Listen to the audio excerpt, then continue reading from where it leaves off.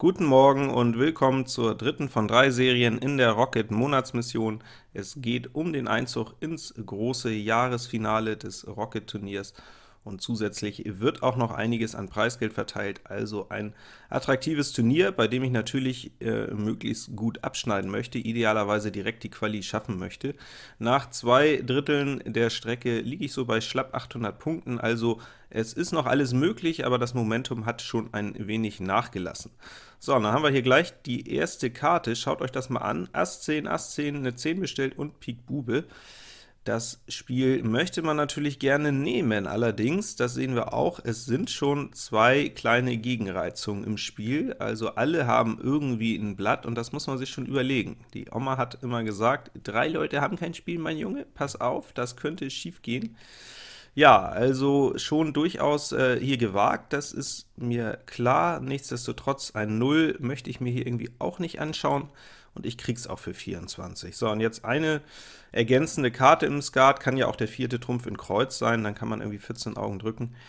Ähm, dann sehe ich hier Möglichkeiten. Ah, Karo König, ach, das ist natürlich jetzt richtig mies.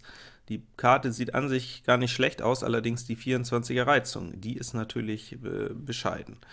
Ja, was fällt uns dazu ein? Der Grang hat jetzt, denke ich mal, nicht so gute Chancen. Der ist vielleicht dann auch ein bisschen zu teuer. Man könnte den Dreitrümpfer Kreuz trotzdem spielen mit Pik König, Karo Ass im Keller, aber ich entscheide mich jetzt nach einiger Überlegung doch den Karo zu versuchen mit Schneideroption. Ja, da muss es natürlich sehr günstig sitzen, Kreuz Bube zu zweit idealerweise und auf Kreuz ähm, dürfen Sie die 10 eben auch nicht rausschnippeln, also Kreuz auf den Tisch. Keine Abstiche, Kreuz Bube zu zweit, sowas in der Art, ja, ehrlich gesagt sieht die Chance nicht mehr so gut aus, und dann haben wir noch diese 20er Reizung, das heißt, ich habe schon das Gefühl, dass meine Herz 10 hier gleich eine leichte Beute wird. Der Kreuz Bube fällt aber an sich zu früh, dann stehen die Trümpfe zu viert, ja, und Spieler 2 sticht mir hier die Herz 10, also das Experiment ist definitiv gescheitert. Da habe ich mich dann vielleicht hier gleich äh, im ersten Spiel doch ein Stück zu weit aus dem Fenster gelegt, gelehnt. Andererseits ist ja auch klar, 500 äh, brauche ich hier noch, um die Direktqualifikation zu schaffen. So, und jetzt, wo auch noch die Stechfarbe kommt, ist alles zu spät. Mit Stechen komme ich natürlich ein bisschen weiter, aber wenn hier noch irgendwie der Schneider gehen soll, dann muss jetzt die Nummer mit der Kreuz 10 klappen. Das ist zwar unrealistisch und auch dann wird es wohl nichts werden, denn der Bubenstich ist ja auch noch bei Spieler 2. Nee, das wird nichts. Da habe ich mir den ersten auf der rechten Seite reingezogen.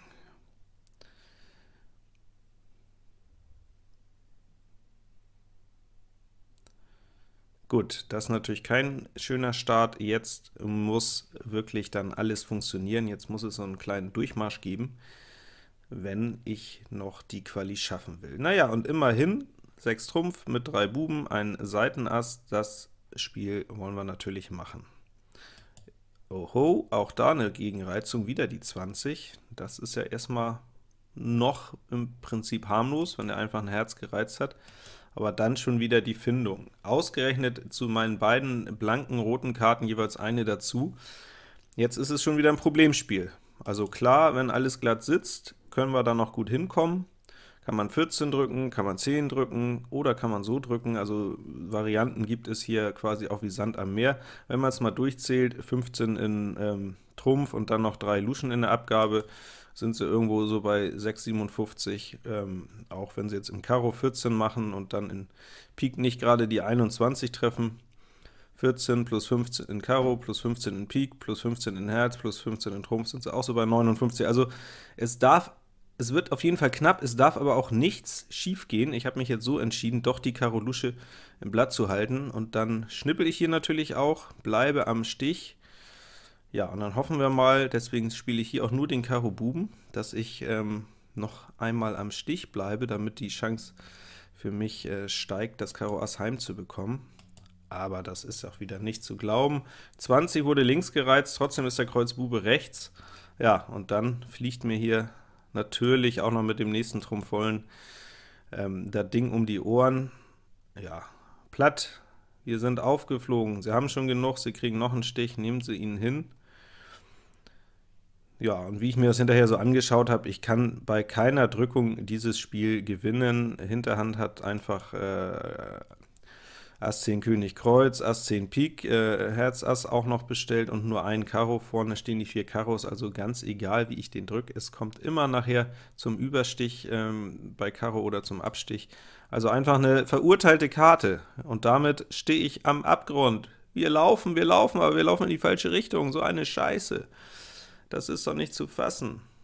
So, jetzt alle Kanonen ausrichten, alle Rohre fluten und wenigstens, ich meine, beklagen kann ich mich an sich nicht über die Karten. Es sind schöne äh, Eingangskarten, schöne Ausgangskarten, nur das Ergebnis ist eben bisher nicht zu meinen Gunsten. Und jetzt kommt es natürlich hier richtig knüppeldicke. Jetzt habe ich so einen weiteren Ansatz, habe schon zwei verloren und kriege jetzt hier 40 gereizt. Klar, jetzt könnte man auch noch Karo Hand reizen, aber gegen die drei alten Bauern, die wir jetzt schon mal bei Spieler 2 vermuten, wird der natürlich auch nicht besser. Und wenn er nicht die drei Alten hat, dann ist die Gefahr immer noch, dass ein Bube dann drin liegt und ich das Spiel nachher überreizt verliere. Also Karo Hand jetzt gegen die Gegenreizung wäre dann doch vielleicht etwas zu viel. Das wäre dann mit dem Kopf gegen die Wand und dann werden die Schmerzen auch nicht weniger. So, gucken wir mal, ob äh, Mittelhand denn jetzt irgendwas Brauchbares zusammen bekommt. Der ist auch noch mal am Umdrücken, auch am Überlegen.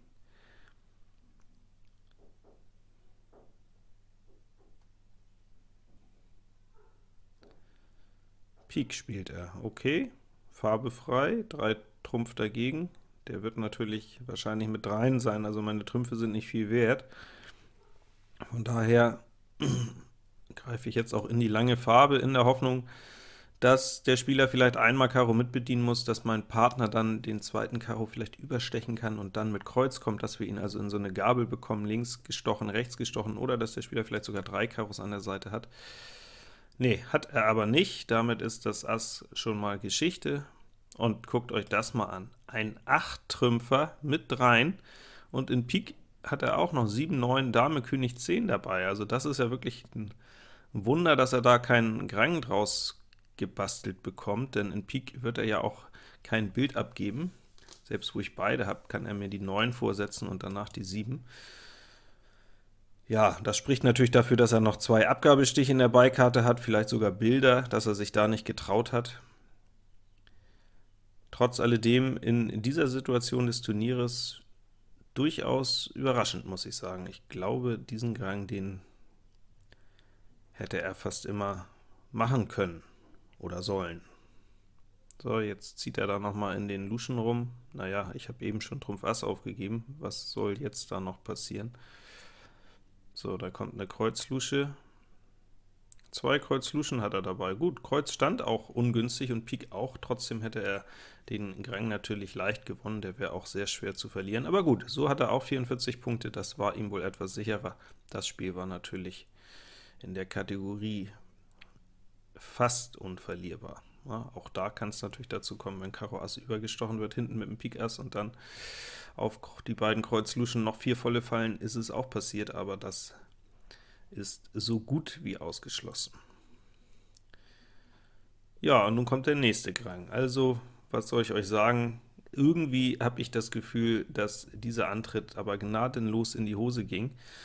Und äh, zu allem Unglück kann ich mir jetzt die schönen Blätter meiner Konkurrenten anschauen. Die haben einfach kurz abgewartet, mir auf, die, auf den Deckel gegeben. Ja, und dann nehmen sie ihre Abklappspiele. Gut, ist eine gute Taktik übrigens. Hier, Gerang mit 2, Schneider schwarz. Karo 10 war blank. Schönes Ding.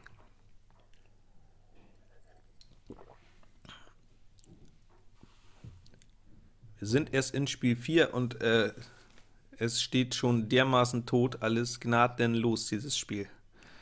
So, ja, und dann geht es so weiter. Jetzt brauche ich natürlich Spiele, kriege ich wieder so einen Ansatz, der zwar dünn ist, aber bis 22 natürlich geht, aber keine Chance ans Spiel zu kommen.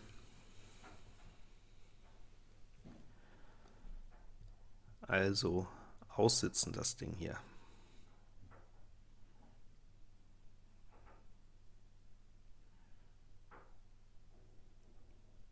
Was ist jetzt da? Spieler 3.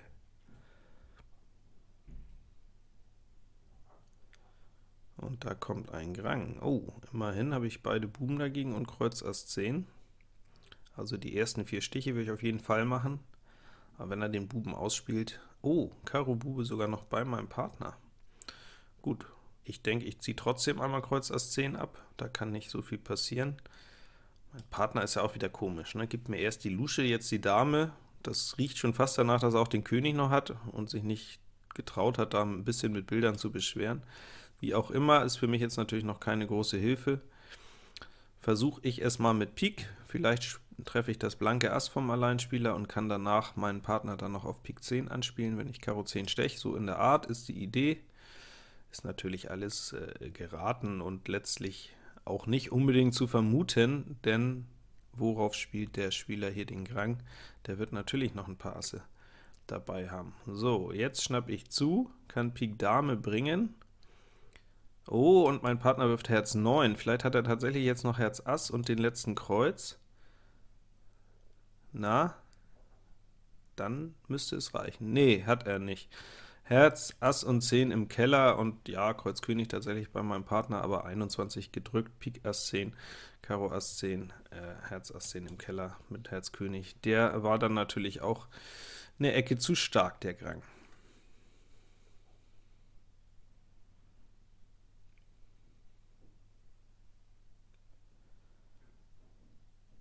Hm. Letzter Versuch, würde ich mal sagen. Gehen wir mal ein bisschen mit mit diesen Vollen. Vielleicht wird es ein Herz, vielleicht wird es ein Pik, vielleicht wird es ein Karo. 24 will ich noch mal halten. Aber nee. Hat keinen Sinn, hat keinen Zweck. Ganz stark gestartet mit vielen Punkten und dann noch rasanter abgebaut, also eine richtige Rohrkrepiererliste hier hinten raus. Und da kommt wieder ein Gang rausgepurzelt.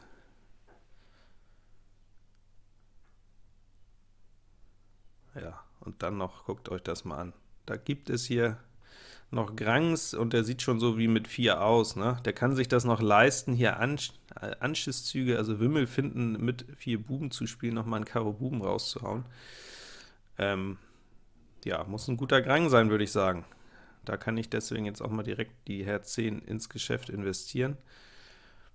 Ja, nichts zu machen, nichts zu machen, viel zu stark und noch Kreuz dabei und Karo Ass 10. Ja, mit solchen Karten, da kann man auch mal einen Buben-Zwischenzug spielen. Schaut es euch an, 360, 340 und minus 200, also wir sind in Spiel 6 und die beiden nehmen mir jeweils 500 Punkte ab. Ja, und da sollst du nicht durchdrehen, ne? Da sollst du nicht durchdrehen. Gut kann man in dem Moment sagen, dass das Elend dann irgendwann auch ein Ende hat, und ich versuche es jetzt aber hier noch einmal gegen die Vernunft äh, reize ich jetzt die Flocke nochmal, obwohl schon eine 20er Reizung auch aus Mittelhand drin war.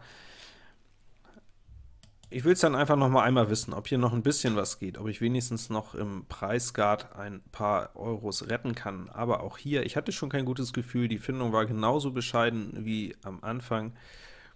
Und auch jetzt glaube ich ehrlich gesagt nicht, dass dieser schlappe 5-Trümpfer durchgeht, selbst wenn hier Herz Ass kommt, denn aufgrund der 20er Reizung habe ich schon wieder das Déjà-vu, da wird doch jetzt garantiert Herz im Überstich stehen, und wie soll ich dann hier hinkommen? Ja, so ist es auch. Viermal Herz, jetzt Karo einfach zurück, wieder das Ass getroffen, jetzt kommt wieder Herz, komme ich in die Zange, kann ich einfach nichts machen. Das Spiel ist einfach dann nach so einer schlechten Findung nicht gut genug, um so einen ungünstigen Kartenstand abzuwehren. Ja, und jetzt treffen sie es hier auch noch korrekt. Ähm, wenn jetzt Karo Einschub kommt, kann ich immer noch den Buben rausschieben und versuchen, wenigstens die Pik 10 zu bekommen. Jetzt ist dieser Versuch im Prinzip gescheitert, denn wenn ich jetzt tauche, dann kommt natürlich noch die Herz-Lusche, ein Herz ist noch drin, und wenn ich den letzten Trumpf versteche, ist entweder äh, dann fliegt die Karo-Lusche raus oder der Pik, dann geht der nächste volle nicht. Wenn ich abschmeiße, passiert das gleiche, dann blüht mir kurze Zeit später ein Abstich. Also, ja, Schachmatt, würde ich sagen. Auch dieses Spiel ohne Gewinnchance.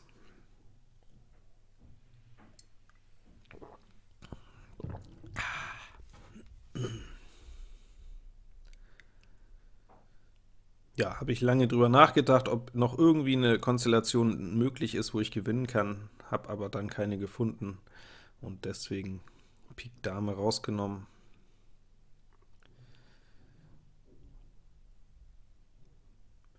Null zu drei minus 300. Oh, wie schön ist Panama.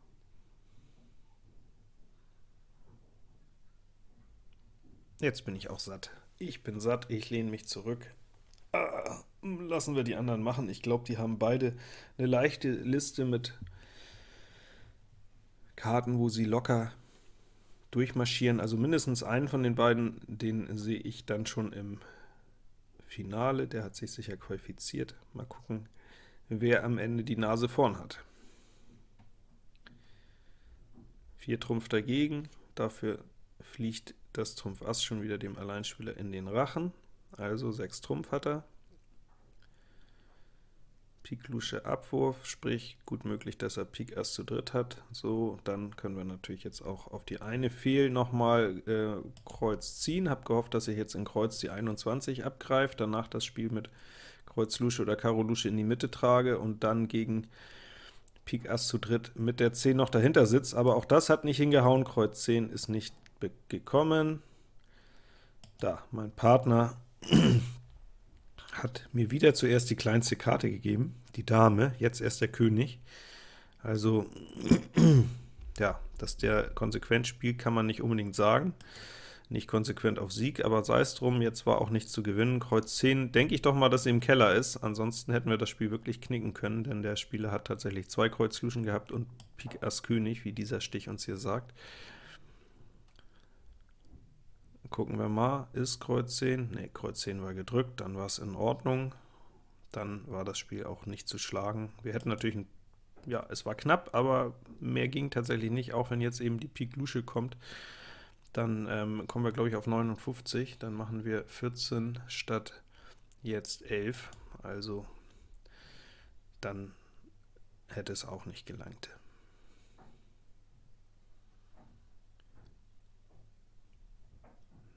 Nee, danke. Nee, danke, ich mag nicht mehr. Ich bin so satt, ich mag kein Blatt Mäh.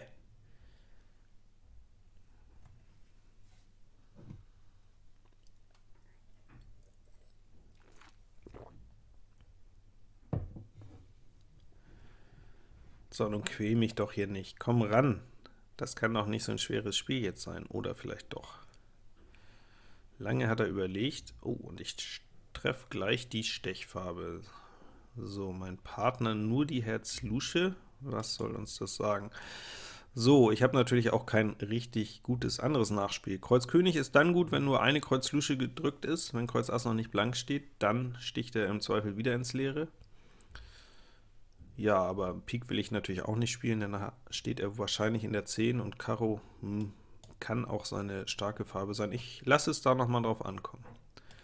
Ja, klasse, da wissen wir wenigstens, was gedrückt ist. Zwei äh, Kreuz Luschen sind gedrückt. Das sah jetzt natürlich trotzdem nicht so gut für uns aus. Also der Riecher heute auch nicht ideal, und es ist natürlich nur ein 5-Trümpfer, da sieht man es schon. Ich bin mir ziemlich sicher, dass mein Partner noch Pik Buben hat. Äh, jetzt rüber zu gehen und dann Kreuz 10 zu bringen, ist zwar eine Möglichkeit, aber dann muss mein Partner von hinten antreten. Besser so, und er spielt jetzt einfach Trumpf zurück, dann äh, kann ich danach Kreuz 10 auf den Tisch legen und dann von hier die Karo Dame öffnen, dann holen wir uns auf jeden Fall auch die Pik 10, soweit der Plan. Nee, aber das schafft er nicht. Er spielt nicht den Buben, er spielt Pik König, ja, und das, wenn wir jetzt mal durchzählen, dürfte dem Alleinspieler schon reichen, wenn er die 10 hat, denn der braucht gar nicht mehr viel, der braucht noch die Pik 10 und das Karo Ass mit der Dame, die er kriegt, dann ist er schon ähm, bei 63, 0 Augen hat er zwar gedrückt, aber er hat ja schon in äh, 39 liegen, in Kreuz die 18 plus beide Trumpf vollen. So, jetzt denke ich doch, dann lasse ich mal jetzt meinen Partner hier nochmal überstechen, bevor ich den Buben hole. Ja, dann kann der mit Pik kommen, Pik 10 heim. Ja, wenn er jetzt Karo Ass noch hat, dann gewinnt er, ne? Weil er die Dame kriegt auf 63. Das ist doch nicht zu fassen. Nicht mal ein kleines Erfolgserlebnis im Gegenspiel ist mir gegönnt. Ja, Und mein Partner hat sogar noch Karo Lusche, also er gewinnt jetzt nur, weil dann am Ende auch die Karo Dame tatsächlich noch blank steht und nicht die beiden Luschen auf sein Karo Ass fallen, aber so war es nun mal. Ja, und wie gesagt, ähm, mein Partner hätte, glaube ich, außer Pik alles spielen können, er hätte auch Karo rüber spielen können, nur Pik hätte er besser nicht geöffnet.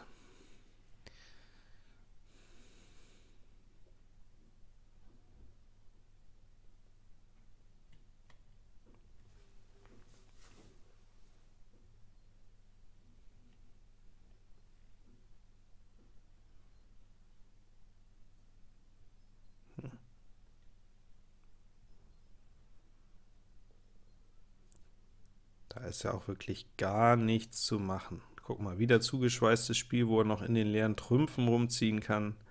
Ass dabei, Karo Ass direkt gestochen. Ei. Herz Ass noch dabei. Ei, ei, ei. Dann können wir ja gar nicht rauskommen normalerweise, ne? Sei denn, es gibt jetzt noch Pik 10 mit einer Wimmlung. Oder Herz, ja gut, da hat er den Schneider wieder selber verballert, hätte er direkt äh, die Lusche rausspielen können. Hat aber auch nicht mehr nötig.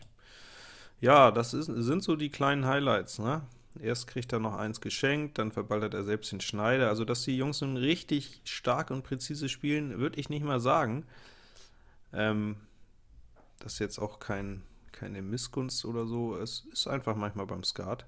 Ich freue mich ja trotzdem, dass sie dass dann hier wenigstens zwei profitieren. Ähm, bei mir ist ja hier gar nichts. Wir können das ja schon mal zusammenzählen. Ich glaube, in den ersten zwölf Spielen habe ich 4 zu 0 gespielt. Da waren diese Spiele ohne 5, ohne 4 dabei. Schöne, teure Spiele. Aber auch da wurde ich noch nicht mal so richtig mit Buben verwöhnt. In der zweiten 12er Block habe ich ein einziges Spiel bekommen. Dann stand ich also 5 zu 0. Ja, und jetzt stehe ich 5 zu 3. Herrlich. Jetzt aber, 5 Trümpfer, ich habe 4 dagegen, und ich habe eine starke Beikarte. Mein Partner hat natürlich nichts zu wimmeln. Ja, ich denke einmal den Trumpf abziehen, okay, Karo 10 König ist beim Spieler wahrscheinlich auch noch das Herz Ass zu dritt, ist zumindest eine Option. Er kann natürlich auch Karo 10 König im Keller haben, so oder so, mein Pik Ass steht ohnehin blank. Auf Herz habe ich kein gutes Überspiel, dann ist meine 10 gefährdet, also kann ich es auch nur so versuchen, ja. Und ich kriege von meinem Partner auch wieder nur eine Lusche. Das sieht natürlich dann eher so aus, als ob Karo 10 König im Keller sind. Ja, und da kommen jetzt plötzlich die Bilder. Bei mir kommen Luschen rein, hier die Bilder. Okay, sei es drum. Dann werden wir die Herz 10 wohl noch machen, und damit ist gut.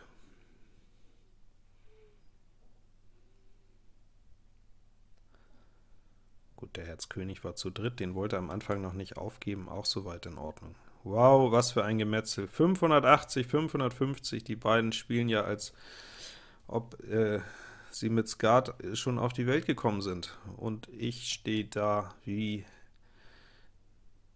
der begossene Pudel. Letztes Spiel. Ja, das ist ja der erste wirklich gute Ansatz hier in Vorhand, den ich in dieser Serie habe. Gut, Spiel 2 war auch noch ein guter Ansatz, aber ansonsten war es das. Und dann tatsächlich einmal noch gut gefunden, da seht ihr euch das mal an. Da können wir jetzt sogar noch mal einen Gang rausmachen. Der Ehrentreffer hier vielleicht. Wenn Kreuz König zu dritt steht, kann das übrigens auch noch mal in die Hose gehen, aber das wollen wir natürlich nicht hoffen. Also das Spiel, nein, Kreuz steht gut. Dann gibt es nur zwei Stiche. Ansonsten kann das Spiel ein bisschen knapp werden, gewonnen werden sollte es dann auch. Ja, 15 Augen, also Schneider auch unrealistisch, Kreuz 10 König, wenn der gestochen wird, sind es 16 Augen auf 31, und wenn der bedient werden muss, dann wird Herz König mit Schmierung gestochen, dann kommen sie auch raus, jawohl, so ist es. Gut, immerhin der Ehrentreffer, damit habe ich die Liste abgeschlossen, insgesamt die 36 Spiele mit 6 zu 3. Das ist nicht dolle, minus 202 dazu, das bedeutet, am Ende des Tages sind es nicht mal mehr 600, also auch so kann es laufen. Und jetzt heißt es einfach noch ein klein bisschen Geduld, bis die Abrechnung da ist, und dann gucken wir mal, was da am Ende bei rumgekommen ist. Tada! Hier kommt das amtliche Endergebnis. Gratulieren zur Qualifikation zum großen Rocket-Jahresturnier dürfen wir Sapunta, Gobo, Table Dancer, Fred Feuerstein, SDC Jin, Alf und Udo L. Die Grenze lag hier tatsächlich bei genau 1300 Punkten. Wer darüber war, hat es geschafft. Darunter gab es dann sattes Preisgeld, auch das natürlich nicht zu knapp. Und ja, dann doch schon ein wenig ärgerlich. Wir müssen jetzt ganz schön weit runterblättern. Guckt euch das mal an. 44. bin ich am Ende geworden nach dem guten Start, aber die gute Nachricht ist, 25 Euro gibt es wieder, also ein erstes ähm, Taschengeld, um die nächsten Rocket-Turniere mitzuspielen. Da werde ich dann also wieder einsteigen und das heißt natürlich auch weitere Videos. Insofern nicht nur schlechte Nachrichten. Dann wünsche ich euch Gesundheit, äh, haltet euch tapfer, macht's gut und wie immer, gut Blatt.